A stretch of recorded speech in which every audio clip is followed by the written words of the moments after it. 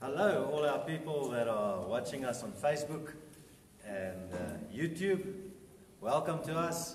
Today, is the 30th of August, the end of our winter in South Africa. I know in other parts of the world, uh, probably where some of you are watching from, it is uh, the end of your summer. So we've got uh, the privilege of looking forward to spring and uh, summer ahead of us.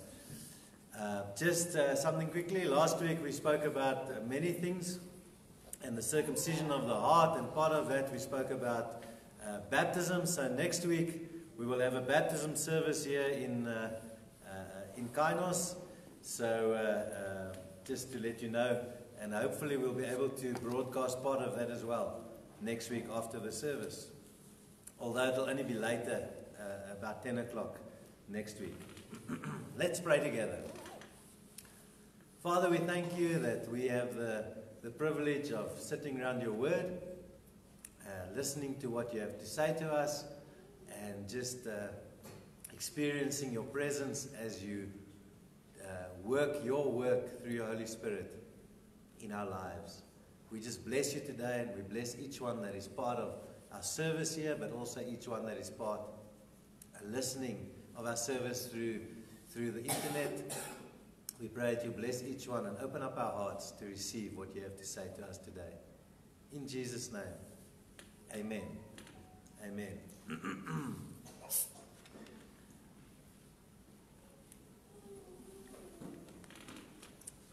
All right.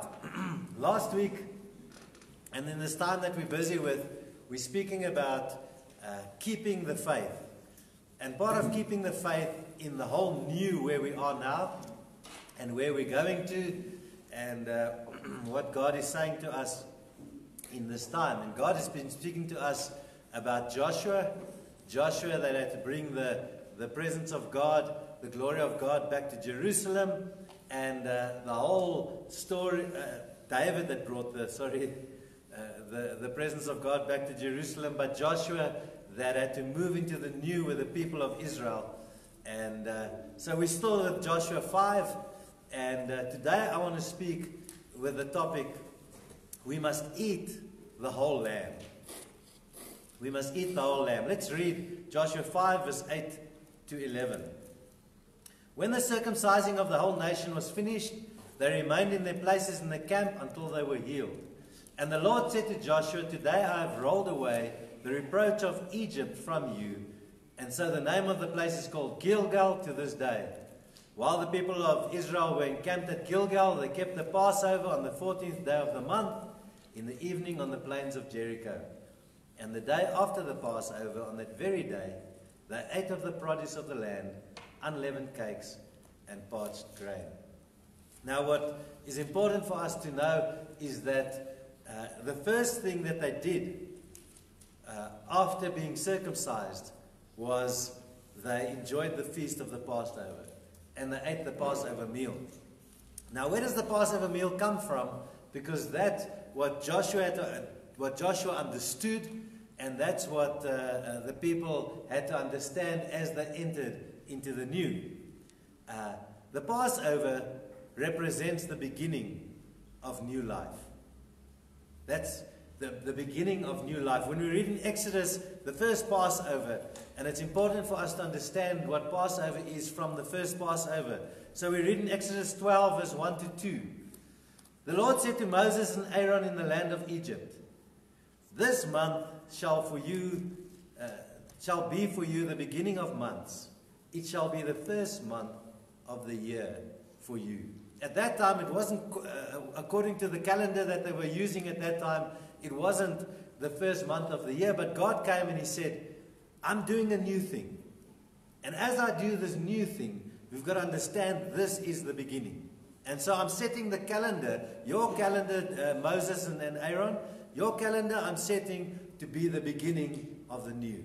And we know that where we are right now in history, where we are right now uh, uh, busy with what God is doing in the church, uh, God brought us to a place where we were in Egypt, God brought us to the place where we were in the wilderness, and now God brings us to a place where He says, It's now again a new beginning. It's a new time, and God sets his clock and he's busy setting his clock again for the new beginning that he has for the church. I've said this over and over again, but it's important for us to know that uh, church will never be the same again. Or maybe I should say, church should never be the same again. There will be those that will fall back into the old, but for us, we want to say, as what Joshua said at the end of his life, me and my house, we will serve the Lord. Me and my house, we will follow God. That my house and myself, we will move into the new that God has for us. And that's where we are right now. And that's what we want to do. And that's what we're experiencing. So the Passover represents the beginning of new life. When the first Passover was uh, celebrated, or, or, or uh, when, when, when they killed the lamb and ate the lamb, and uh, the blood was put on the doorposts, it was the last, the last day in Egypt. It was their last day in Egypt. It was the beginning of the new that God had for them. Exactly 40 years later, exactly 40 years later, we come to this section that we just read about Joshua, where they come into the promised land, they circumcised, and it's exactly 40 years to the date that they have Passover again, and this is now the beginning of the new. And so uh, uh I believe that we in, in, in, in Kainos and we in the church in the world, and I say it over, let me just say it again, that it's not just Kainos that's experiencing this. All over the world, God is raising up churches to experience the new that He has. Uh, but it's a new, a new season for us. It's a new time for us. We privileged that we had our, uh, uh a week or two ago, we had our 21st birthday of, of Kainos, and it's a whole new season, a whole new seven years that is starting off right now. And we're moving into the new. So the Passover represents the beginning of the new. Then the second thing, sorry, the second thing that I want to say is that the blood of the Lamb secures salvation. I know we know that, but let me just explain it again. Let's, let's just get the foundation again fixed. For the blood of the Lamb uh, secures salvation. Chapter 12 of Exodus, Exodus, where we read about the first Passover, we read, And you shall keep it until the 14th day of this month. That's keep the lamb in the house until the 14th day of this month, when the whole assembly of the congregation of Israel, Israel shall kill their lambs at twilight. Then they shall take some of the blood and put it on the two doorposts and the lintel of the houses in which they eat it. Now, uh, just a few things. I, I, I, don't want to focus too much to explain that Jesus is the Lamb uh, that was slain for us in the New Testament. We know that, and uh, we'll just touch on that uh, uh, in a while. But let's go back to that first Passover. Let's go back to that first Passover. They killed the lamb, they put the blood of the lamb on the doorposts and on the lintels. Uh, and once inside, they could not see the blood. Once they were inside, they could not see the blood. And so when the blood of Jesus Christ is on our life, we don't always see the blood. But in faith, we've got to, we've got to rest in the promise that God sees the blood. You see, when these families got together, they killed their lamb, they put the blood on the post, they went inside and they rested. They rested in knowing that we believe that God will see the blood on the posts of our house and he will pass over and he will not kill our firstborn. They had faith that even though they couldn't see the blood themselves, that they knew that the blood was there. Uh, in, in, in, in verse 13 of Exodus 12, the blood shall be a sign for you, God says, on the houses where you are. And when I see the blood, I will pass over you, and no plague shall befall, befall you to destroy you when I strike the land of Egypt. God came and he saw the blood and he passed over and he saved them and they were saved by that. They were not saved, just very important. They were not saved by their obedience. They were not saved because they did certain rituals and they ate the lamb and they did all the things according to what God said. They were not saved because of their obedience. They were saved because of the blood. And you see, sometimes we come as Christians and we think the more I can be obedient, the more works I can do, the more I can get all these things in line in my life, the more things that I can do that I think I can please God with, uh, the more I can do, God will be pleased with me. And then He will save me. God doesn't save us by our works, we know that. But it's by the blood of the Lamb that they were saved. They were not saved because of what they had done or thought or felt, but because God saw the blood on the posts. And when God sees the blood, that's when we, we, we receive his redemption. Uh, they did not put the blood on the post and then go inside and hope that they would be saved. They did not think, oh, we hope. They were assured that they would be saved because God said so. And so God says, when we apply the blood of Jesus in our lives, when we allow uh, the, the, the, Lamb of, of God, His blood to be applied on our life, then we will be saved. They were not saved because of their, the value that they put on the blood. I know I'm saying things that, that sounds like it's contradictory to the gospel, but they were not saved because of the value that they put on the blood. They were saved because God's value that He put on the blood. Uh, and it's not because of us, it's because of Him, and it's because of the blood of Jesus that we are saved. And all we need to do is to come in faith and trust Him and believe that there's power in the blood of Jesus. The blood saved them from God's judgment, but it also freed them from slavery. And that's so important to us that the, we, we, we saved from the judgment of God because God is a just God. We spoke about it a few weeks ago where we spoke about mercy and grace. Uh, we didn't speak about the, the, the judgment or, or God is a just God. Uh, but the judgment of God says you must receive what you deserve. Then God's mercy comes and He says, You do not receive what you deserve. And then God's grace comes, and God's grace says, You receive others' gifts and my glory and my salvation, what you don't deserve. Uh, so they were saved from God, not just from God's judgment, but also from slavery. And there are many Christians today walking around. And in the new, we've got to understand that we need the blood of Jesus, not just to save us from Egypt, not just to save us from the wilderness, but to save us from the slavery so that we can be free to go into the new that God has for us. And there's an amazing new that God has planned for each one of us. And uh, we should be excited about the new because it's through the blood of Jesus, not our own works, but through his blood alone. And we need to have the blood of, of Jesus in our lives. Um, Jesus is the Lamb of God. We know that. And it's His blood. And that's just quickly, let me give you one scripture because there's many scriptures that I can go through. But uh, uh, 1 Peter 1 18 to 19 realize that you weren't set free from the worthless life handed down to you from your ancestors by a payment of silver or gold which can be destroyed. Rather, the payment that freed you was the precious blood of Christ the lamb with no defects or imperfections.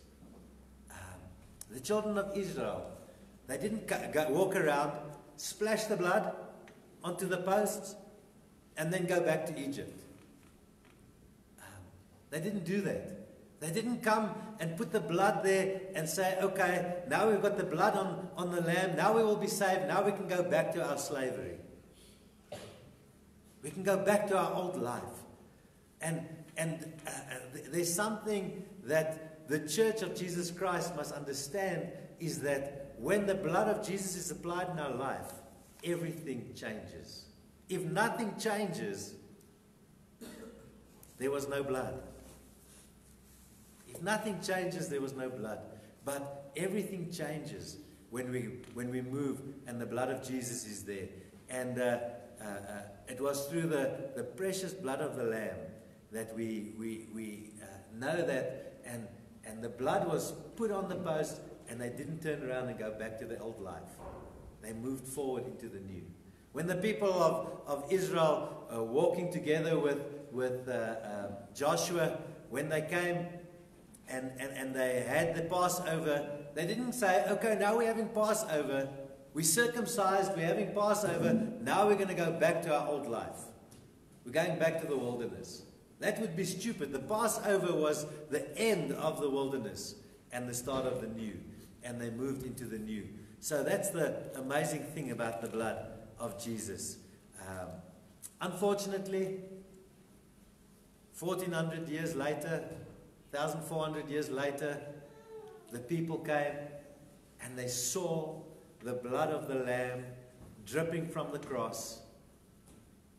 And when they finished and they saw that, and it was finished, they turned around and they went back to their old life. They went back home. They went back to their old rituals. They went back to their old religion. They went back to the old law. They went back to all the old things, even when the new was there. So we need to understand that uh, uh, once we've placed the blood of Jesus on our lives, and once God has saved us from his judgment and saved us to the new, out of slavery to the new, we've got to walk in the new. We can't go back to where we come from. Uh, but also 14 year, 1400 years ago, there were some that said, from now, everything has changed.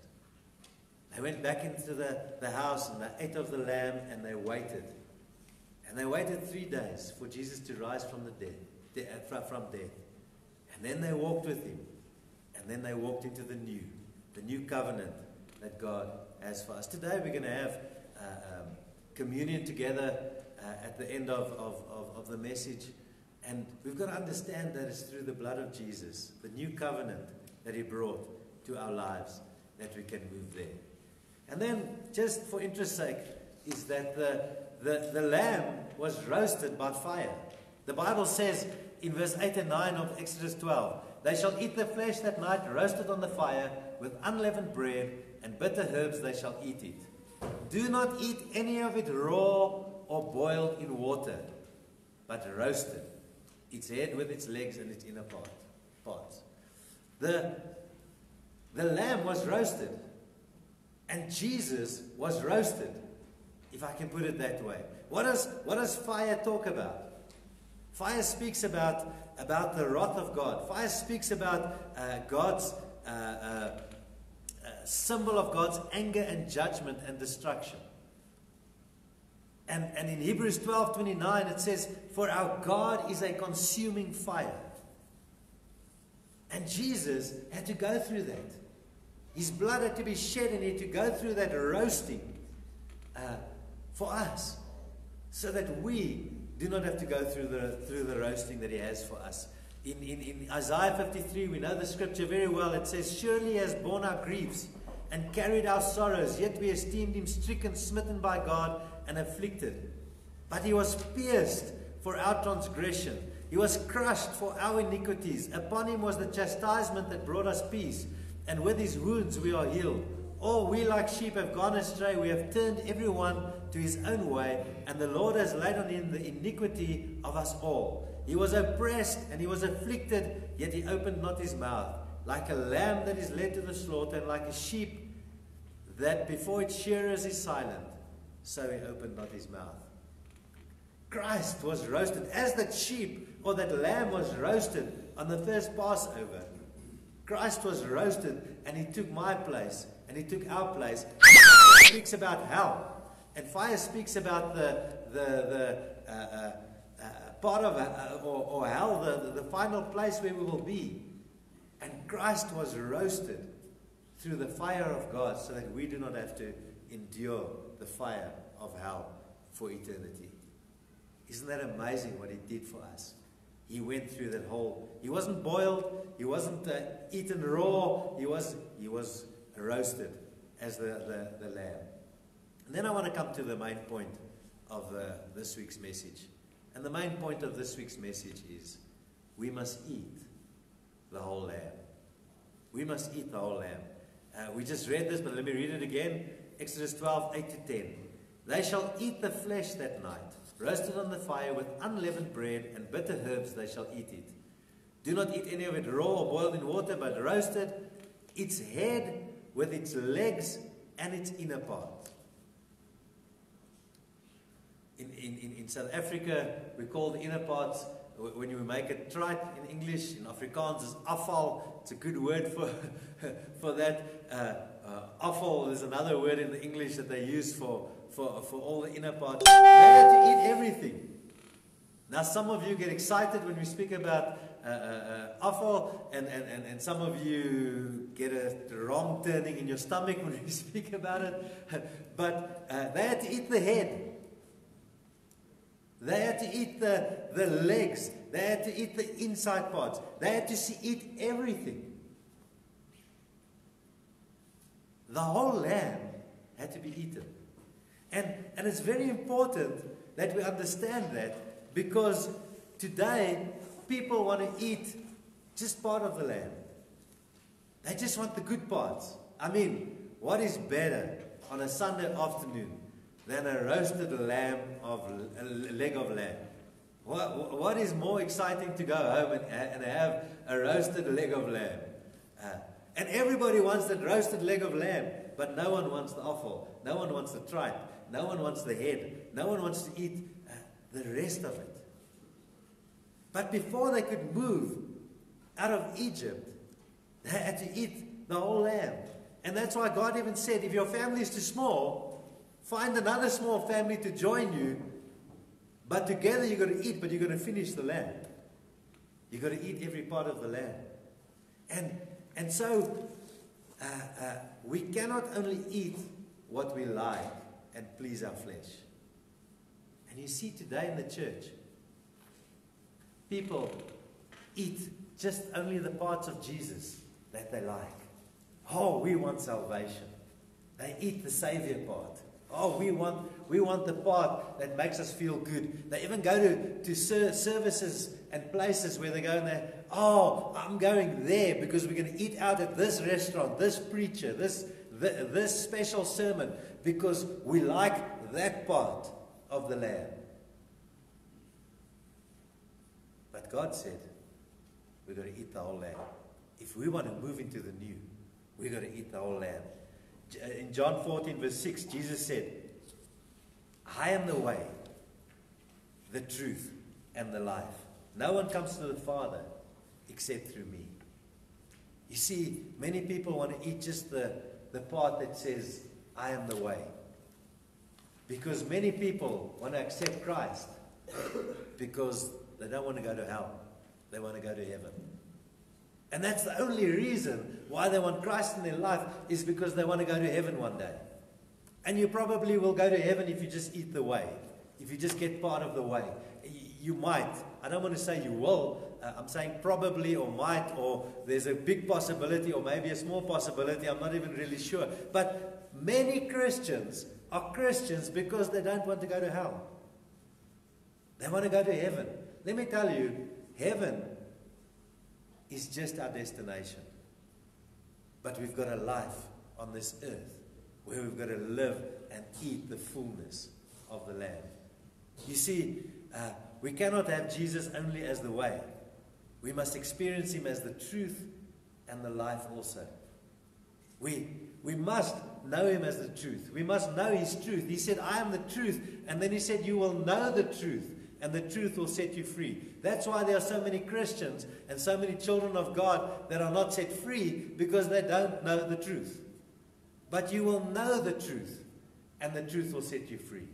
Jesus said, I am the life. Many of us, we don't want Christ's life. We want our life. We want to keep our life. We want to hold on to our life. We want the way. We want a little bit of the truth, not the whole truth. Just a little bit of the truth. But the life, no, we want to keep our own life. And we don't want that part. We don't want to eat that part of the lamb. You see, we cannot accept Jesus only as our Savior.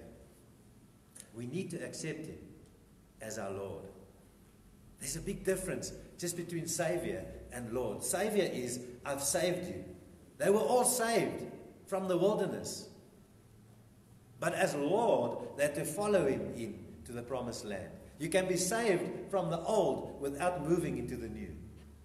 And in Kainos and in the church all over, I believe that God is taking us into the new. We don't exactly know what it's going to look like.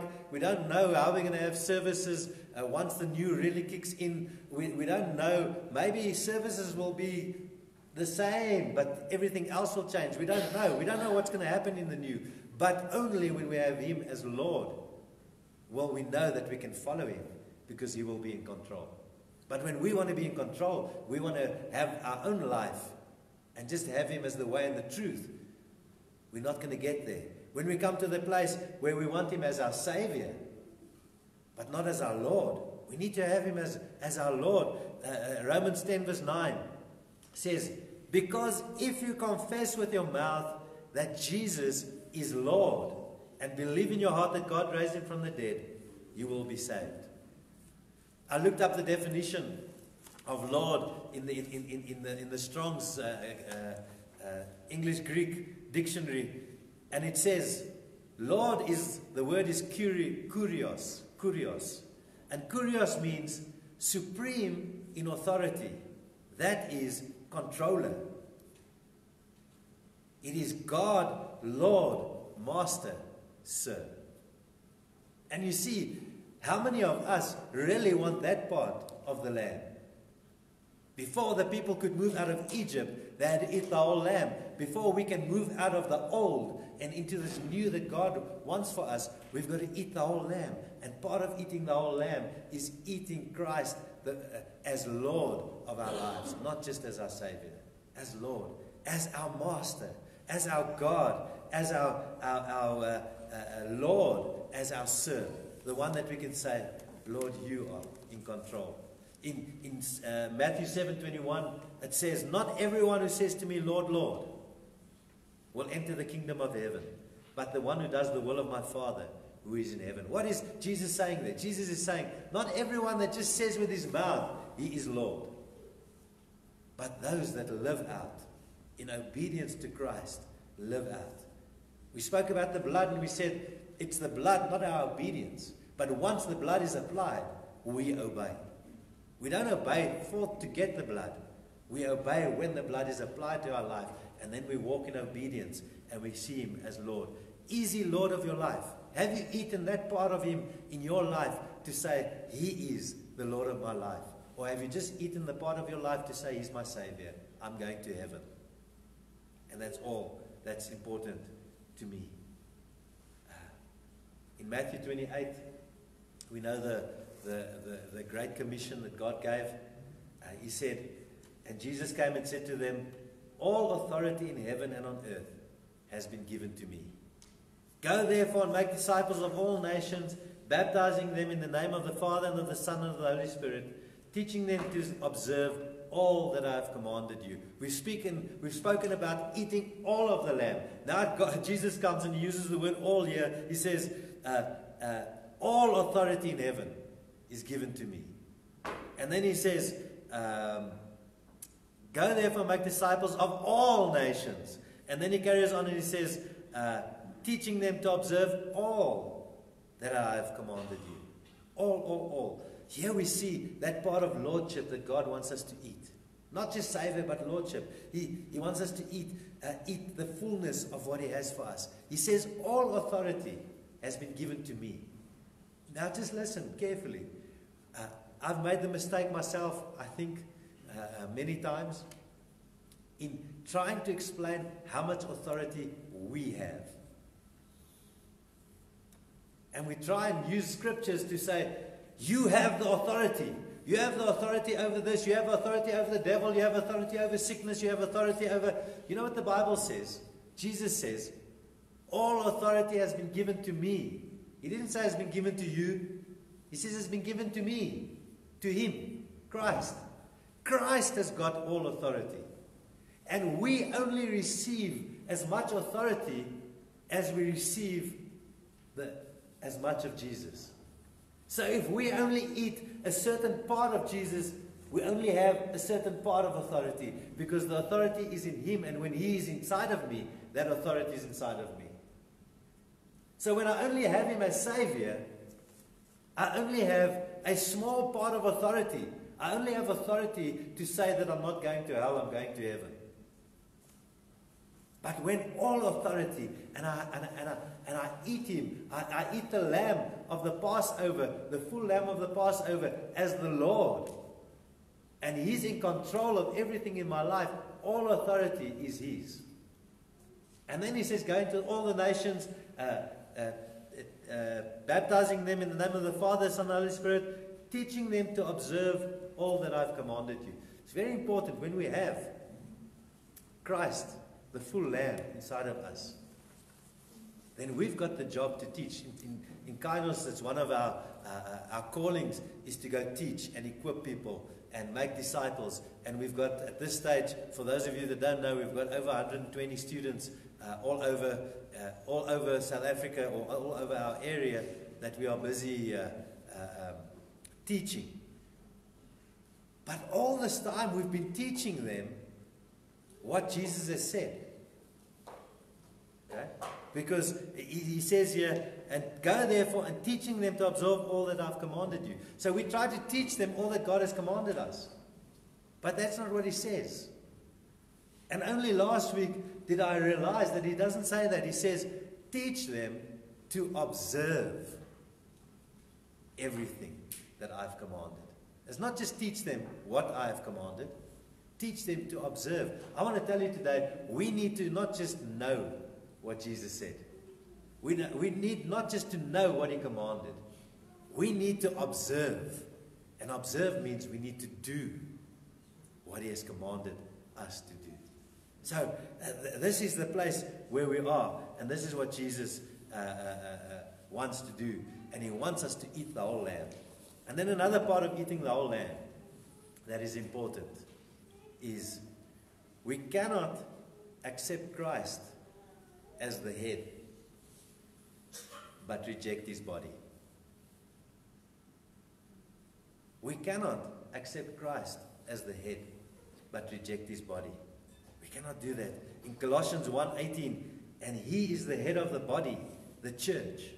He is the beginning, the firstborn from the dead, that in everything he might be preeminent. Christ is the head of the body, but he calls the body the church. And remember, we're not talking about a denomination, we're not talking about a local church, we're talking about the whole body of Christ. So many Christians, and even in this time of COVID 19, uh, and those of you that are, that are listening, and maybe you're there and you might get upset with me when I say this, and you're welcome to be upset, and I will bless you in your upsetness. But uh, listen carefully. We, we choose to stay away from the body of Christ because we only want to eat the part of the body, we only want to eat the head of the lamb. We don't want the rest of the body. We only want to eat that part that, that makes us feel I'm connected to the head. But we cannot be connected to the head if we're not connected to the rest of the body. And if you're at home because of other circumstances, uh, we understand. And, but if you are at home and you're not part of the body of Christ because you think you don't need the body of Christ, I want to tell you today that we're missing it. And we're missing on the fullness of what God has for us. Because He says, if you want to move into the new, you cannot move into the new on your own. If you want to move into the new, if you want to go into the promised land, if you want to move into what God is going to do in this whole new season, you cannot move on your own. You need the body of Christ. You need the head, obviously. You need Christ in your life. But you need the body of Christ around you. And you can have excuses and you can say, but the body has hurt me and the body has, has rejected me and the body has done this to me and done that to me. I want to tell you today, without the body of Christ, you cannot just eat part of the lamb. You need to eat the whole lamb. Uh, we're going to come to the, to the uh, uh, uh communion table soon. But in 1 Corinthians 10, Paul speaks about, he says, the cup of blessing that we bless, is it not a participation? In the blood of Christ? The bread that we break, is it not a participation in the body of Christ? Because there is one bread. We who are many are one body, for we all partake of the one bread. That's why it's so important for us to be part of the body of Christ. I'm not talking about you have to be at, at, at a church service every Sunday. Um, that would be good. That will be actually be, be excellent. But that's not what I'm talking about. I'm talking about we need to be part of the body. We need to join in with the body. We need to be activated. We need to function in the body of Christ. Uh, we need every part of Jesus. And every part of Jesus is also included the body of Christ. To be able to glorify Him for what He has done, we must receive all the parts of Jesus into our lives. We need to eat the whole lamb. We need to be we need to experience the whole lamb. We need to experience every part of Christ. We need to experience every truth that he has said. We need to experience not just the parts that is there for me. One of the biggest mistakes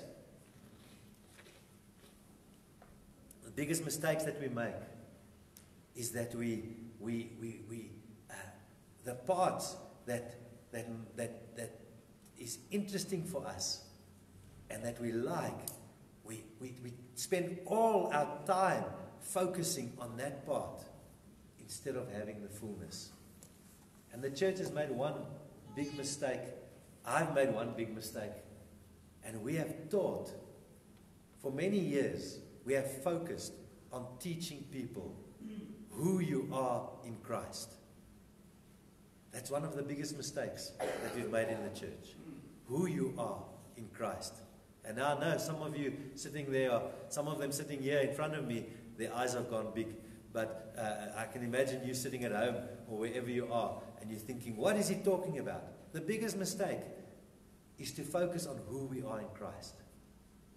Because God actually wants us to come to the place where we can focus on who is Christ in me. Who is Christ in me? Christ in me, the hope of glory. Not me in Christ, Christ in me.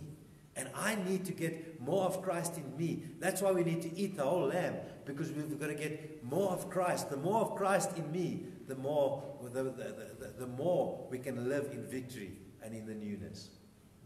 And I end off, before we just sum up, I end off with what John's, John the Baptist said in John 3 and it's not on the notes, those of you that got notes. But he said, that he might become more and I become less. He didn't say that I might become less so that he can become more. We preach it as if he said that. I must become less so Christ can become more. No, that's not what he said. He said Christ must become more because the more Christ becomes, there's automatic reaction in me to become less. If I become less, some other things can become more that is not Christ. So he's not saying, I must become less so that Christ can become more. He's saying that he might become more and I can become less. And so let me just sum up. We cannot eat him as Savior and not as Lord. We need to have him as Lord and Savior. We cannot eat him as the head, but not enjoy his body. We need to have him as the head, but also enjoy his body, the body of Christ. We cannot uh, eat only Jesus as Savior of Jerusalem. We need to have him as Savior also of Judea, Samaria, and the ends of the earth. He didn't just call us. He didn't just call us to be here where it's comfortable, to eat this part of the lamb. He's called us to take the lamb to the different parts everywhere. But starting here, being here, uh, not neglecting one or the other. And we cannot eat him only on a Sunday.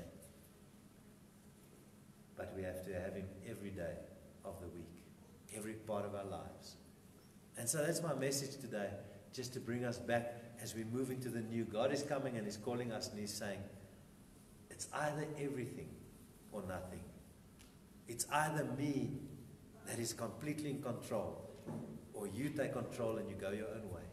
But if you want to move into the new, if you want to be part of the new, if you want to be carriers of my glory, if you want to be there where, where you can experience my fullness in the new, you've got to eat all of the land. Take everything I'm giving you. Might be persecution, might be some hardships, it might be some difficult times, but definitely there's a lot more that we can have. You see, we need, we need Christ and the cross so that we can receive Christ and the crown. It's all of Him, and that's what He wants to give us. We're going to go to the to the table now, and we're going to enjoy some time uh, just uh, spending in uh, communion uh, as a body of Christ. We can spend this together here. Wherever you're at home, if you have family, if you have your your your, your uh, family with you, and you want to join us, you're welcome to join us. But as we come to eat, Jesus said, we just read that Jesus said about my blood. My blood is the new covenant. My blood, when you bless, when you bless the, the, the, the cup, you bless my blood. You bless the new covenant that I've given you. And then he said, when you break the body, uh, the, the, the, the bread, it's my body that has been broken for you. But in my body being broken, you now are the body and you are whole. My body was broken and and messed up and ripped apart. My physical body, Jesus says, so that my spiritual body can be whole and that you can have the fullness what I have for you. So let's pray together, and then the worship team will come forward and they will uh, lead us in worship while we just move to the table and just spend time taking part of the table. Father, as we come to you today, we thank you that there's something significant today that we need to take hold of, and that is we need the fullness of Jesus Christ in our life. Jesus, thank you that you came and you died on the cross for us. That you that your body was broken for us. So that you and you became the lamb, the, the Passover lamb for us to take our place. So that today we can partake in your body, you can partake in your blood through just spending time together around the communion table. And we pray that as we take part today, that we will make a decision in our hearts to say, we want to eat the whole lamb. We want everything of you in our lives. The good and the bad, the difficult and the, and the good times, everything. As long as we have you, we will be able to move into the whole new that you have prepared for us. We bless you in Jesus' name.